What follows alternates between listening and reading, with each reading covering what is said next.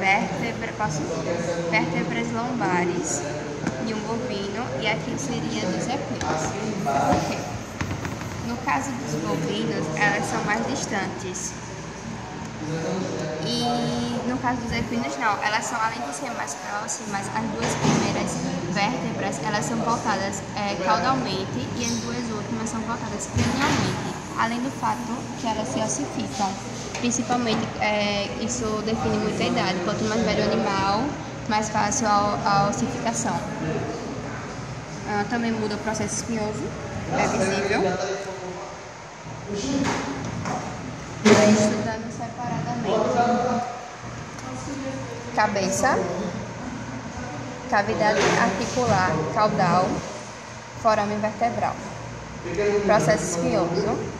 Processo transverso desenvolvido é o que diferencia ela das outras vértebras, que no caso vai ter face dorsal face ventral, lâmina cranial e lâmina caudal, processo articular cranial, superfície articular cranial, processo articular caudal, superfície articular caudal. Processo mamilar vai ficar, vai ser isso aqui, né? Próximo ao processo articular. Aqui, cal, cal, É, cranial. Isso eu aqui. levantar. As pontinhas atrás. As pontinhas. Balança a perninha, bebê, vai. É que eu fico nervosa. Enfim, eles têm cisuras também.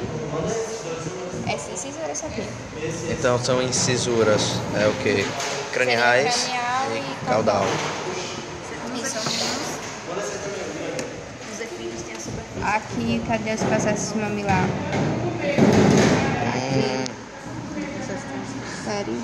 Aqui, aqui, aqui, aqui. literalmente é isso aqui, então, Essas pontinhas. Aqui, isso aqui. certo? É parecendo a pontinha de um peito, então, masculino. Pense nisso.